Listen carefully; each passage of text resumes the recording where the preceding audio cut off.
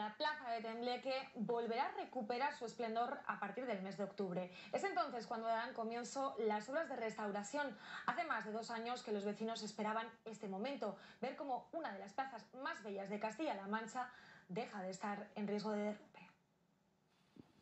Hoy en Tembleque no se hablaba de otra cosa. Por lo visto también dice que la van a arreglar, ¿no? La plaza, el piso también, creo que también van a arreglar.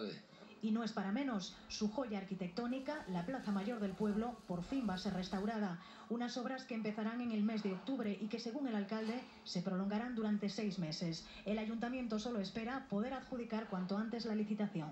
Es un proyecto que tiene una dotación de 400.000 euros, de los cuales eh, unos 300.000 euros eh, subvenciona el 1% cultural, Ministerio de Fomento, y el resto lo tiene que poner el, el ayuntamiento. De esa cantidad, de los otros 100.000 euros más o menos, nosotros pondremos obligatoriamente, porque así lo exige la subvención que nos llega, unos 40.000 euros y la otra parte la estamos negociando con administraciones públicas. Los problemas de la plaza comenzaron aquí. En enero de 2013 se produjo un derrumbe de unos 3 metros a lo largo de la fachada. Se vieron afectados varios pilares y una vivienda colindante con la antigua posada. Un deterioro que ha ido a peor con el paso del tiempo. Está, ahora mismo está la casa esa, está desastrosa, vamos. Creo que ya está bien, que lo tengan que arreglar.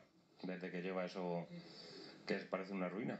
Vamos, que es una ruina. Desde 1973, la plaza de Tembleque es considerada bien de interés cultural con categoría de monumento. Los temblequeños solo desean que recupere cuanto antes su esplendor. Contentísimos porque está la plaza indecorosa para la plaza que tenemos de bonita. Muy bien, me parece, porque es muy bonita y ya está. Un enclave de incalculable valor histórico y artístico que pronto volverá a lucir su mejor cara.